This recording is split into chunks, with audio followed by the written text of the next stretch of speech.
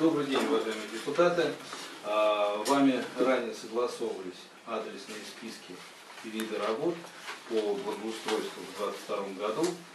А, Но поскольку у нас, э, вы знаете, э, очень интересная ситуация в стране, была определенная оптимизация, нам удалось, несмотря на эту оптимизацию, э, сохранить все адреса, которые были в титуле.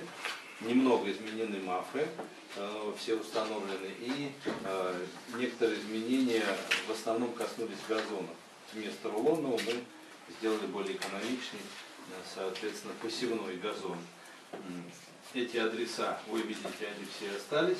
И плюс к этому, за счет того, что деньги, которые выделялись городом, были использованы максимально эффективно, оплата была исключительно за счет по фактически выполненным работам, у нас осталась небольшая экономия. Мы хотели бы попросить вас одобрить закупку 100, 220 э, столбиков, которые, я думаю, вы знаете, постоянно обращаются и к нам, и к вам, чтобы у нас, если, может быть, и на, не на весь 23 год, на часть 22 и начало 23 были столбики, которые будут устанавливаться для того, чтобы предотвратить заезд, соответственно, транспорта на тротуары и так далее и тому подобное.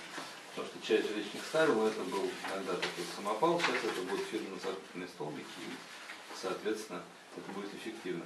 И э, еще мы просили бы согласовать закупку двух снегоуборочных э, машин для очистки карманов.